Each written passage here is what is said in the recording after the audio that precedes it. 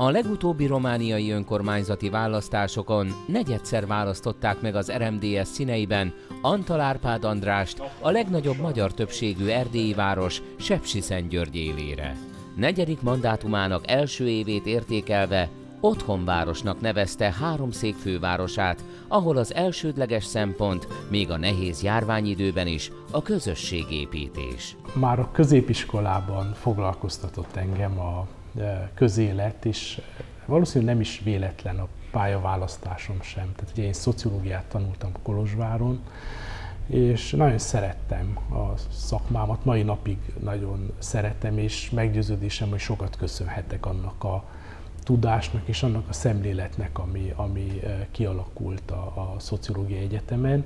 Korábban a versenyszférában is kipróbálta magát, majd 2004-ben a legfiatalabb magyar képviselőként került a román parlamentbe. Körülbelül a második év elején már éreztem azt, hogy én sokkal hasznosabb lennék az önkormányzatokban, mint a parlamentben, és akkor döntöttük el Tamás Sándor, akkori parlamenti képviselő kollégámmal, hogy 2008-ban hazajövünk. Antal Árpád András polgármester és Tamás Sándor Kovászna megyei tanácselnök együttműködése kiállta az idők próbáját, hiszen azóta is, ahogy fogalmaznak, együtt ugyanabba az irányba húzzák a szekeret.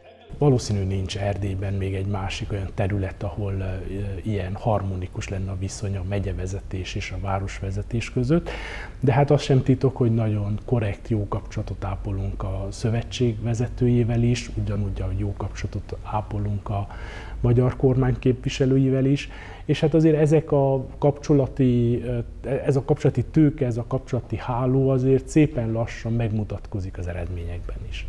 Természetesen sok tennivaló van még a városfejlesztésben, de az eddigi eredmények meggyőzőek. Például az ide látogatók mindig megcsodálják a megújult központot, ami már igazi városi főtérként működik de tervekben sincs hiány. Épp mostanában véglegesítik a Gödri Ferencről, a múlt század elejének híres polgármesteréről elnevezett 2030-ig szóló fejlesztési stratégiát, amelynek érdekében városi konzultációt is indítottak.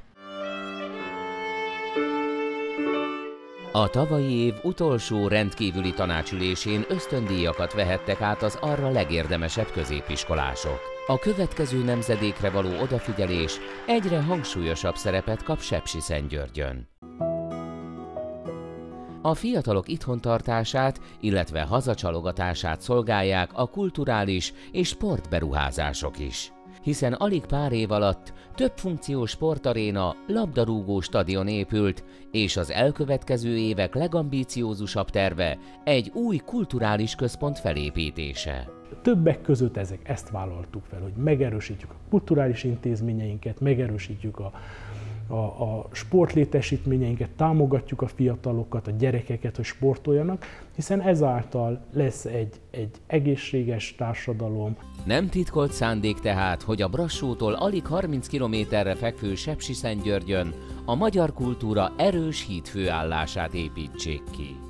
Én nagyon hálás vagyok minden napért, minden óráért, amit, amit ebben a, a körben én elvégezhetek. Én tényleg úgy érzem, hogy ez erdélyi magyarként egy közösséget vezetni a legfantasztikusabb dolog, amit, amit valaki tehetne. Ez a szemlélet már meghozta a látható, tapasztalható eredményeket, s biztató előjele a jól megtervezett továbblépésnek is.